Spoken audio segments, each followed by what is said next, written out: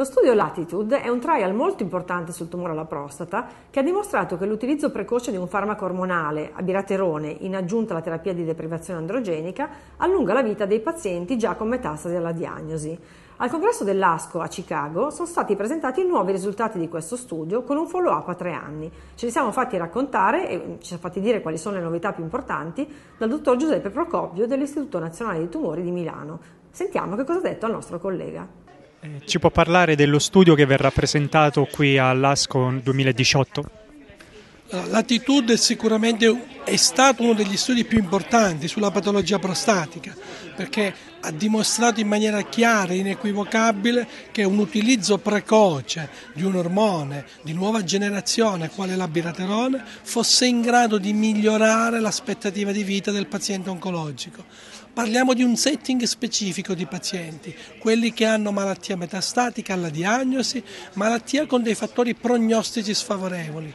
In questa popolazione l'utilizzo precoce di abiraterone ha dimostrato un impatto non solo statisticamente significativo, ma soprattutto clinicamente rilevante sulla sopravvivenza, sulla qualità di vita e su tutti gli endpoint di efficacia. Si parla di cronicizzazione della malattia, è così o servono ancora molti altri studi? È sicuramente un primo grande passo che va in questa direzione. È un passo tanto più rilevante se pensiamo che ci rivolgiamo a pazienti con fattori prognostici sfavorevoli.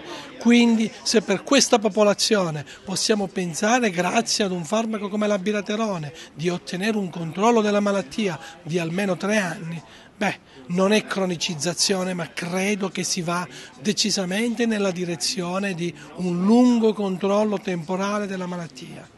I risultati clinici credo che oggi ci consentano di affermare in maniera chiara che questo studio cambia la pratica clinica, perché abiraterone diventa agente di riferimento in questa specifica popolazione, pazienti con fattori prognostici sfavorevoli, malattia metastatica alla diagnosi, quindi quella malattia cosiddetta più brutta. Ecco, in questo setting l'utilizzo di abiraterone rappresenta sicuramente un passo molto importante in avanti.